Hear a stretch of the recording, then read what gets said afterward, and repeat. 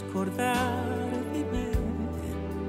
Si trasferivano 120-130 famiglie, eh, fino a 150 credo che siano arrivati. E moltiplica ogni loggia con 5-6 persone, si trasferivano 600-700 persone. Faceva, ognuno faceva il pollaio per i Per i legallini gallini. e mettevano le galline. Ah, Sulla, sulla battigia mettevano un palo con ramoscello e legavano il maiale. Cui tutti vedevi sulla linea della spiaggia 20-30 maiali, ma non tutti, ma molti portavano il maiale pure.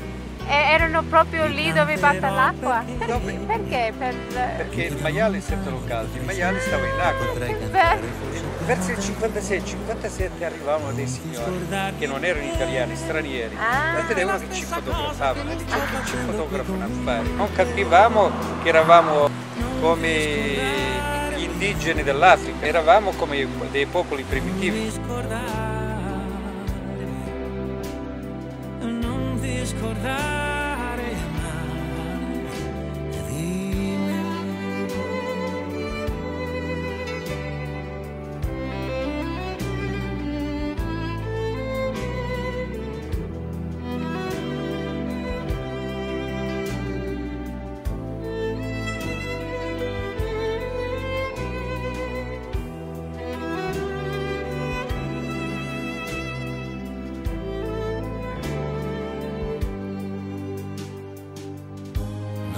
Dimmi qualcosa di bello.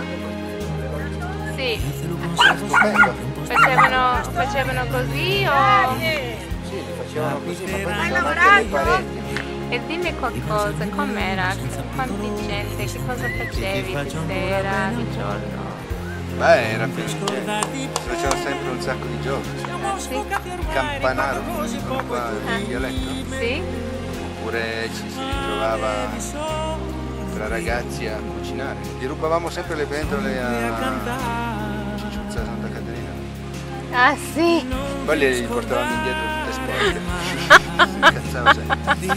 Ma comunque erano tutti seduti fuori, sempre a parlare di qualcosa, a giocare, ma anche gli adulti.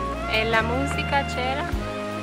Beh, da qualche parte sì, c'era qualcuno che suonava la fisarmonica, Ah sì, ballavano la tarantella. sì è vero?